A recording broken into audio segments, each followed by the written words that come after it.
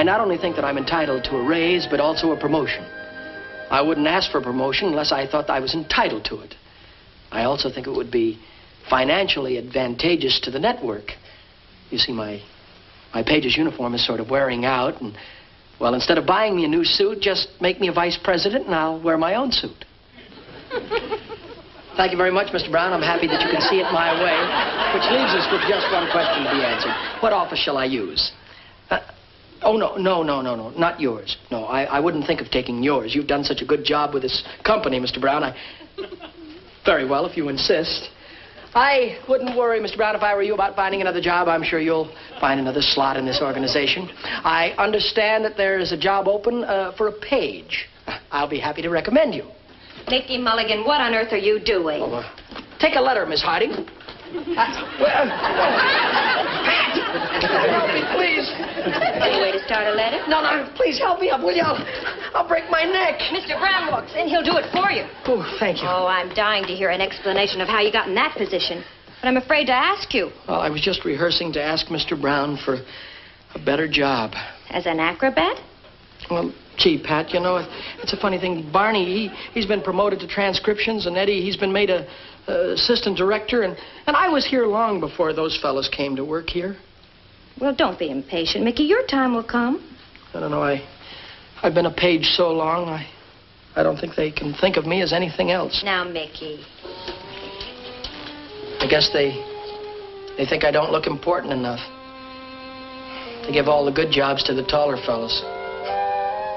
It's ironic. The difference between success and failure is the difference between this and this. Mickey. It's not that way at all. It's just your imagination. You're tall enough for me. Thanks, Pat. Maybe I'm wrong, but I've got to prove it to myself. Believe me, Mickey, size has nothing to do with success. I can't help but think if I was a little taller that more people might notice me.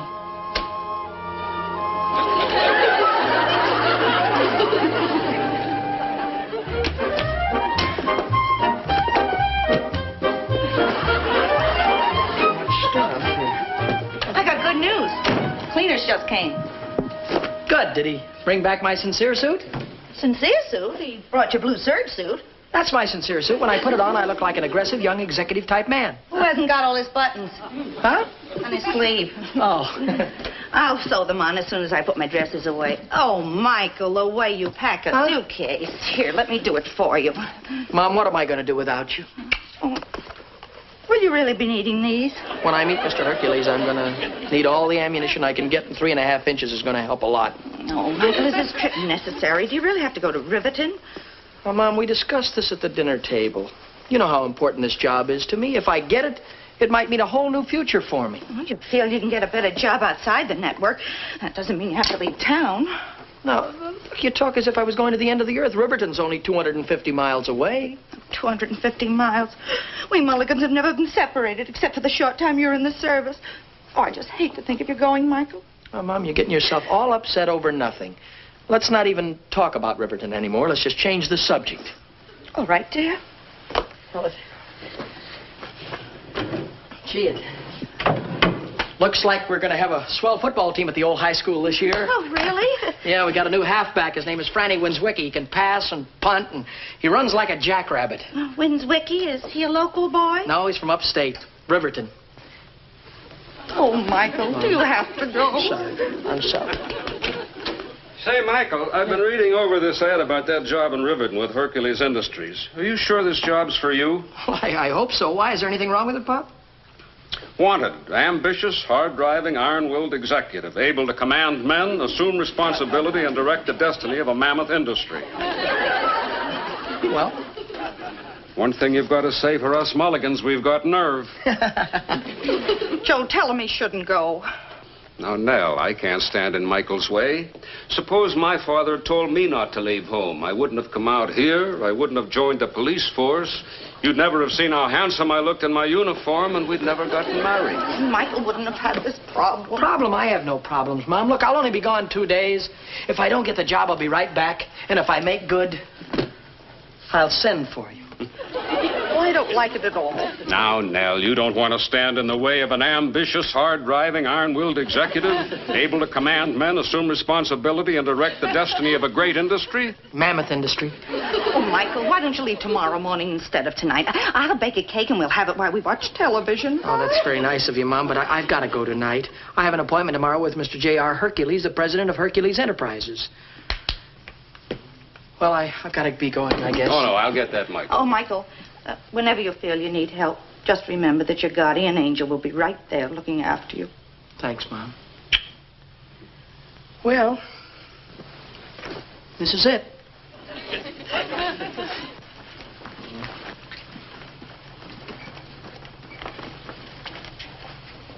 Look out, world.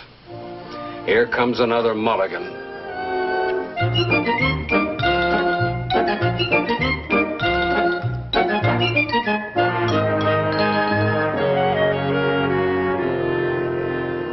Look, kid, Yes. you should have gotten a $5 room. There, you have a breathtaking view of the city incinerator. Oh. oh look, I, I hate to bother you, but uh, where is the bed? Right in front of your eyes. In front of my eyes. What do you... Oh, how about that? That's clever. That's very clever. Gee. Uh, no springs? For two and a half bucks? Oh, come now. Well, And look, I want to warn you about something. Don't ever pull the bed out of the wall before four in the afternoon. Why? The guy in the next room uses it during the day. Oh, oh well, I, I hope he doesn't eat crackers in bed. Will you be wanting something else? No, that, that's, that'll be all, thank you. Well, then in that case, I'll be gone. Is there, does the roof leak or something? Not as long as the weather stays clear. Well, I, I, I don't want to hold you up. You are. You know what I think? I, I think you're deserving of a tip. I am? Yes, sir, I, I really do. I think so. You know, I, I've never done much tipping before. You'll have to tell me how much to. You you just, uh, you just say when. You just, you just tell me when. The word is when, not huh. When. Uh, will you take a traveler's check, maybe? Oh, oh, I'm sorry. My mind was somewhere else, on the 6th at Pimlico. Uh, well, will that be enough? oh, sure, sure. And look, if you want anything else, just call down and I'll be right up with it. Oh, fine, fine. Thanks. Thanks very much for your help, sir. Hey, uh, kid. Thank you.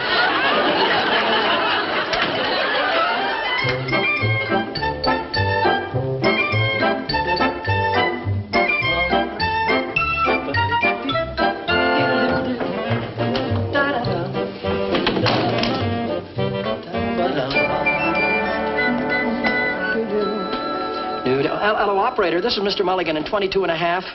Uh, would you tell room service to send me up a nightcap, please? root beer. Yes, ma'am. Just root beer. Oh, and uh, would you please send up ten dollars worth of change? I, I may want to tip the boy. now, get my sincere suit out so it'll be. Get all the wrinkles out for tomorrow. We.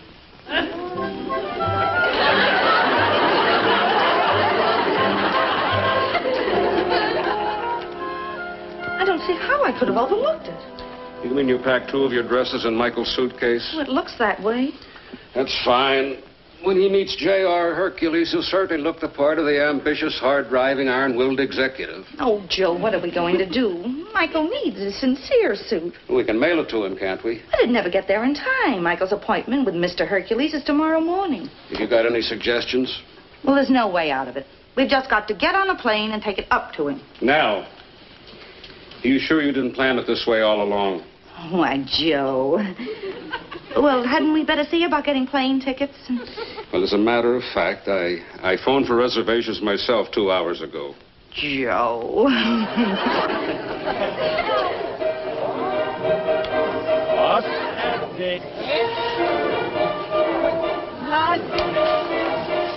Why I married you, I'll never know. Because nobody else would have you. Oh, is that so? That's so. Do me a favor. Shut up! successful executive works without distraction.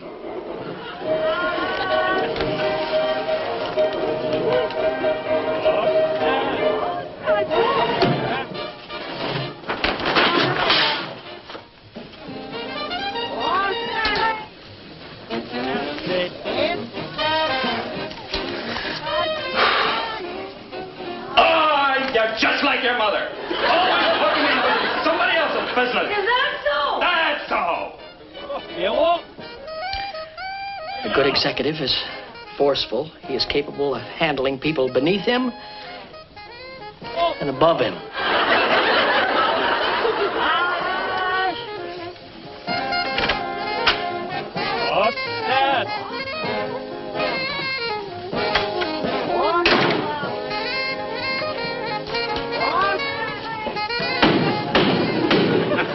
Now look what you've done. You woke up the jerk downstairs.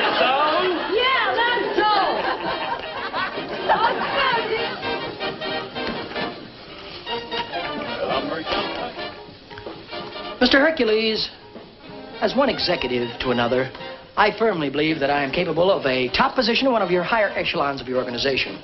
And I must caution you, sir, do not let this surface appearance of being too small fool you. I'm the tallest short man you'll ever meet. And I say again, Mr. Hercules, as I've always said, and I repeat, uh, think big. And you are big. After all, I, I didn't come 250 miles to be turned down. No, sir, Mr. Hercules. If I didn't think that I was the man for the position. 2.30, gosh. Gotta get some sleep.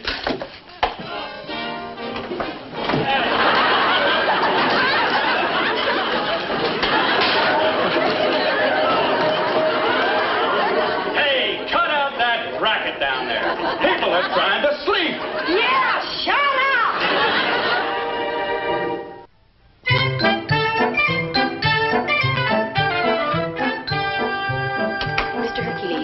There's a Mickey Mulligan here to see you. Oh, yes, Mulligan. How tall is he? Oh, oh, he's, uh, uh short. Well, how short? Oh, well, uh, Well, do I look down at him, straight at him, or up at him? I'd say you'd look uh, somewhere in the vicinity between uh, up and straight ahead. Nah, that's what I was afraid of. I want someone that I can look down at. Mr. Hercules, he's come a long distance. Won't you see him anyway? To be a successful executive, always think big. Never admit that there's anything you cannot do. No matter what tests you're faced with, always make an attempt to surmount it. Always believe that nothing is impossible. Mr. Hercules, sir. Uh, J.R. I believe that I am the man for the job. I I think big and I look big. I, I believe that I would be a, an asset to your organization. Uh, Mr. Hercules will see you now. I, I know that I can do the job. The difficult I'll do right away. The impossible after lunch. I said Mr. Hercules will see you now. Show him in. I beg your pardon. I'm sorry, excuse me. Thank you.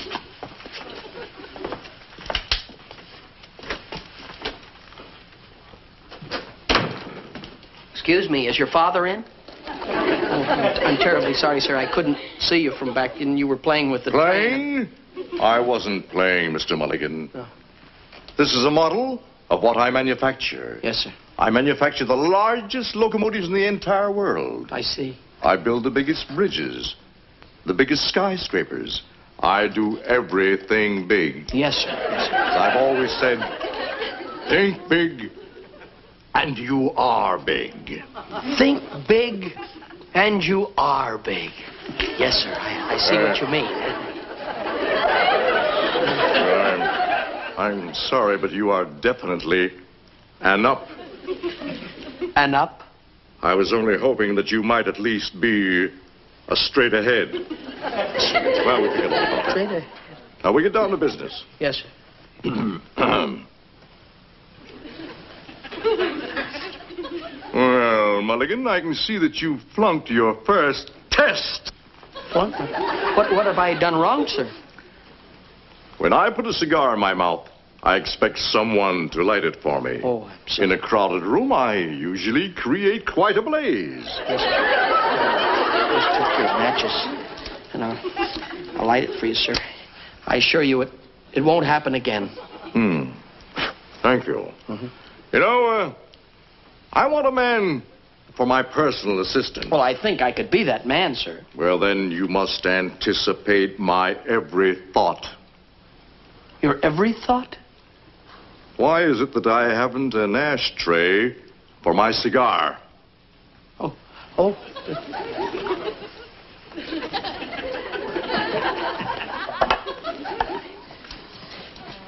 There Thank you. you. Yes. Uh, the man I hire as my assistant must be able to type. Do you type, Mulligan? no, sir. I mean, I mean, yes, sir. That is, I took a course in school. I see. Well, over there's the typewriter. Now, let me see what you can do.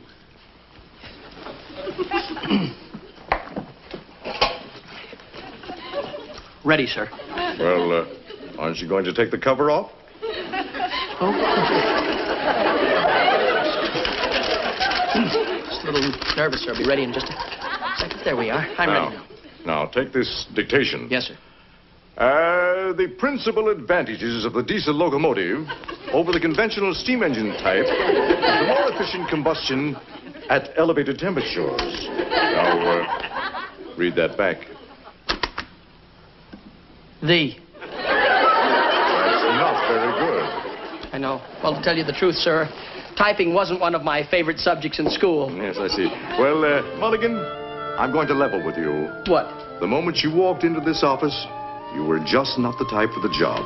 Well, why, sir? You're too tall. Oh, well, you know what? Why, that is, it's, it's my shoes. You see, I, I put heels on my... I, am not interested in your shoes. Now, I'm a busy man. Good day.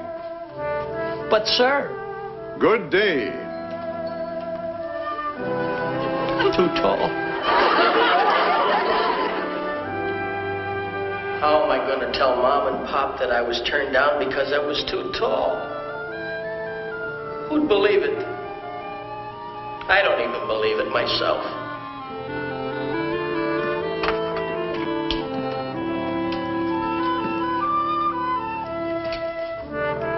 I'd love to see his face now. Close the door, Nellie. He might hear us.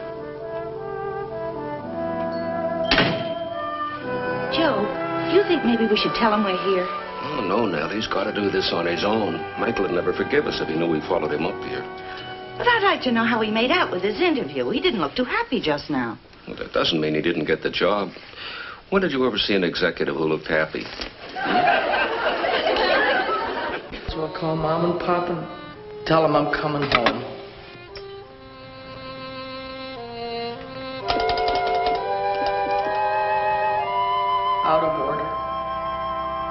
Everything's out of order. Hurry up, Nell. Let's get something to eat while the coast is clear. All right, coming, Joe.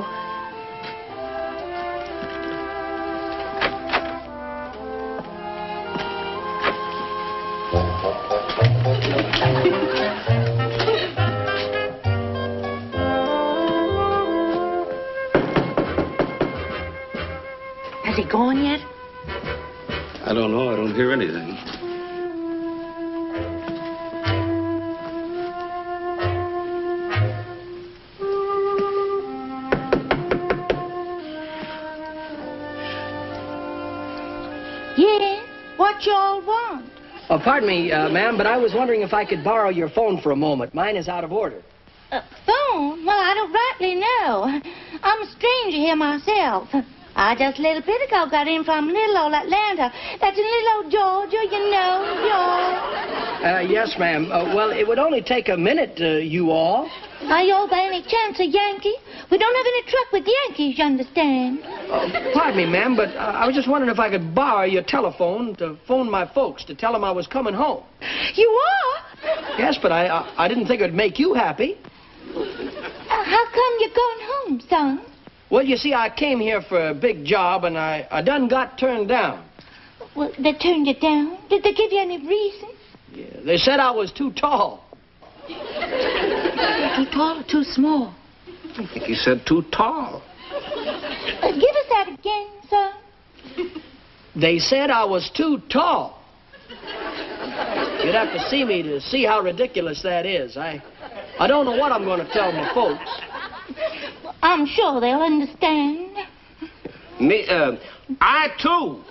Yeah, but there's more to it than that. You see, the, the reason I, I wanted the job so badly is I was trying to prove something to myself and to my folks, and, well, I didn't want to go home and be a failure. The colonel says that his advice to you is to not give up so easy. If you really want this job, fight for it. Try a new attack. They say you're too tall. Go back and try it shoulder. That's what Robert E. Lee would have done. Well, uh, well, folks, you know, I don't think I'll be, be needing your phone after all. I want to thank you, Colonel, sir, for your good advice. From now on, I'm going to play it small. Think small, and you are small. Thanks, Colonel. And thanks, Robert E. Lee.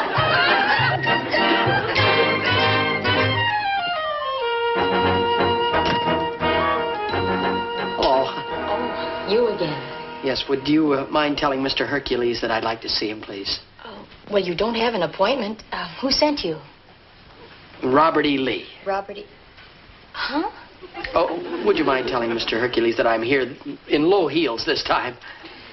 Look, uh, Mr. Mulligan, I'm sorry, but Mr. Hercules has already hired an assistant, and they've left for New York. Left for New York? Oh, But uh, his son, J.R. J.R., is looking for an assistant. I'll see if he can see you. oh, that, that, that's very nice of you. Uh, Mr. Hercules, there's a Mr. Mulligan here about that position. Send him in, please. Go right in. Thank you very much. I don't think I'll fail this time.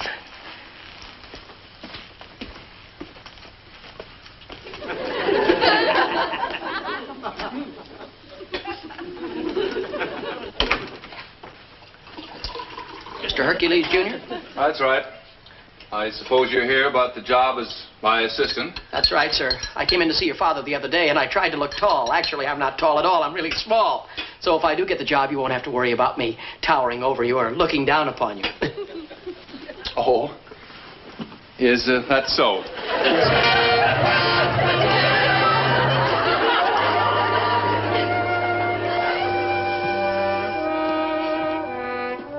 think you're deflated?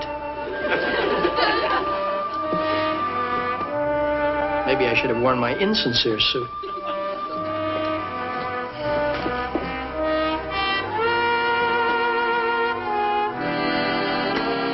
Hi there. I'm Mickey Rooney. I have an important message for you. Who is it? It's just little I was just packing. Mom! Pop! Gosh, what are you doing here? We all just moseyed up to pay off the mortgage on the little old plantation. You're having a little trouble cashing in that old Confederate money. Room 24, the two Southerners. It was you. Now, Michael, we didn't mean to shadow you. We just came up to bring you your sincere suit. Well, thanks a lot, but you didn't have to go to the trouble. I. I didn't get the job. Did you play it short like the colonel said? I played it short. I played it every way possible. Son, that should prove to you how silly it is to worry about size. It's what's in your head that counts, not how high it is off the floor. Michael, we learned in the Army that a successful general always picks his own battleground. If you make size the issue, people are going to judge you by your size. But if you make ability the issue, they'll judge you by your ability. Check? Check. All right, son, let's get started home. Michael, are you sure you haven't forgotten anything? I hope not. I'll take one last look around. Let's see. Uh...